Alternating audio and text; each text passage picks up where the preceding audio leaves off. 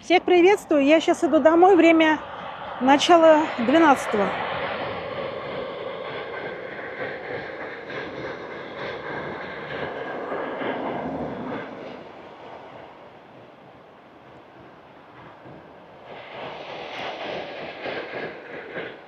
Так, мы идем сейчас с вами э, домой. Вот, я сегодня ничего не делала у мамочки. Вот, но загружался вам роличек, это 22 минуты, который он загружался час. С телефона, с одного я соединила его через э, точку доступа на второй телефон. И 4 гига он меня съел трафика. Вот. Ну, загрузился, вроде я вижу в нормальном качестве. Вот. Ну что, мамочка устала к вечеру. Ну, это было 8 уже. Она говорит, я сильно устала. Я говорю, мам, проблем нету, иди ложись. И посмотрела, ребят, какая там была подушка. Подушка была от, от дивана. И вот она таким вот, э, такой трапецией, и она чуть не стояла. То есть, э, как бы спала она, получается, чуть не сидя. А это признак как раз э, жидкости в животе. Люди принимают позу чуть не вертикальную, когда спать ложатся. Вот. Но она мне говорит, Юль, я не осознавала тяжесть э, своего состояния.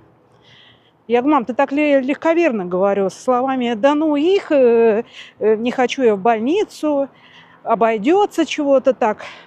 Она говорит, я не осознавала, но когда я уже была в больнице, и мне на УЗИ показывали, вот видите, вот, вот то, вот все, вот такая патология, вот здесь вот – вот только тогда, говорит, я поняла, что я в нужном месте в нужное время. Вот. Я говорю, ну здорово, мам, ты молодец. Так, ребят, смотрим. У нас с вами кучи-то исчезают. Вон уже вот, слушайте, такая ванизма тут старьем. Здорово они разгребли-то. Смотрите, тут уже пусто. Ну и тут гора уже, смотрите, поуменьшилась. И много они увезли отсюда. Ну, класс. Ну, в этом доме мы видим вот с этой стороны одно окно только светится. Вот. Так что хорошо, работы ведутся.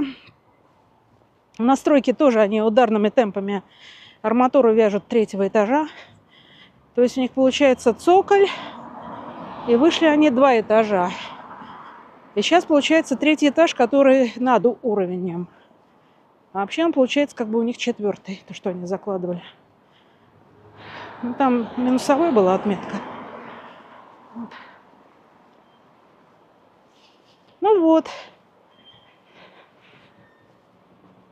Ну, мамочка оценила, что вы ее поддерживаете, что все ей хорошие пожелания, желают всего самого хорошего.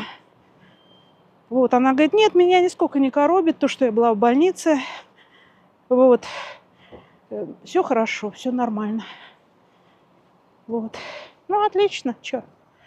Ну, вот сегодня медсестрички. Я написала, что мы уже дома, и отксерила там 10 страниц получилось выписки.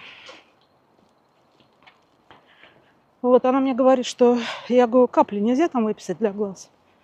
Она говорит, такие сложности, вы хотя бы сходите в поликлинику, там несколько рецептов долгосрочных, долгоиграющих.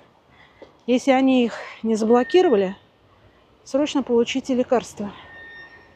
Потому что теперь каждое лекарство будет смотреться, есть ли на него решение э, там, врачей. Но у матери все подтверждено, у нее лишних рецептов нету. У нее там четыре врача, и каждый написал, что ей три, она получает именно по этим нозологиям, она и получает как бы что-нибудь там пургу гонят, непонятно. Но Лизу мою четко ограничивают техпомощь. Забралась. Кого она будет тут? А, трактор везет.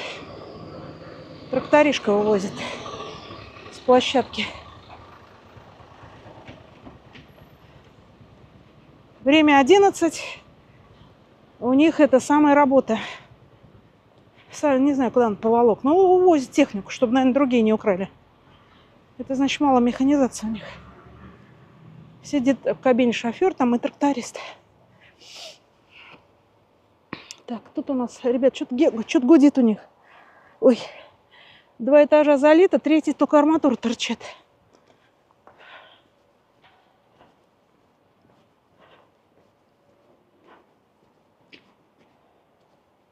Сейчас мы с вами с этой точки посмотрим.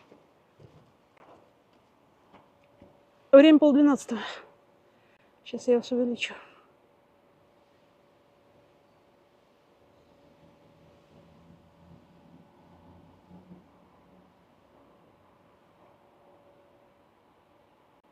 Так, чуть не в майке, что ли, он раб майки, но в каске. В белой каске это начальство.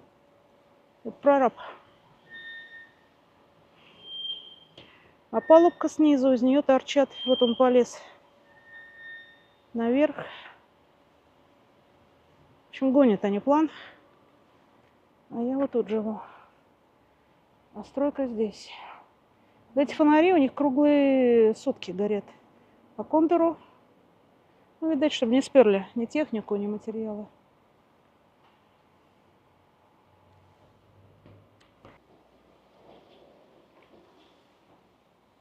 А, миску подает им с бетоном.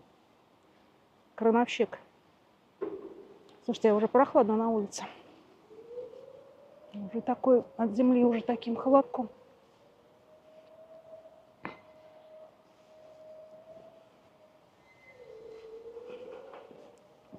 У меня улез окно открыто.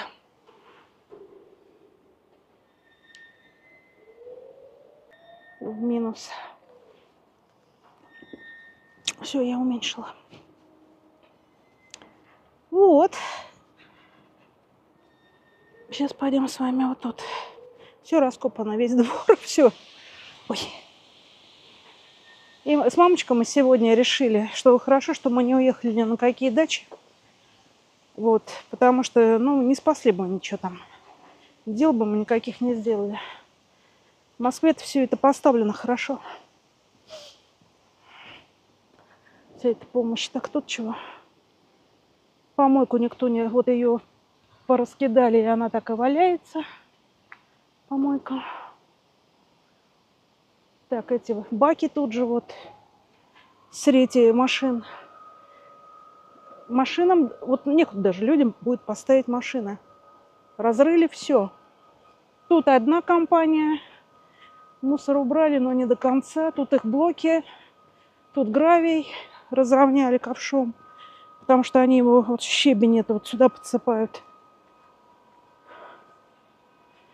Ну вот, ребята, я сегодня дала второе объявление, я вам говорила. Вот что я э, штукатур, косметический ремонт, штукатур-маляр. Короче, один парень мне рассказал, которому нужен рукописный договор, что уже трое его продинамили.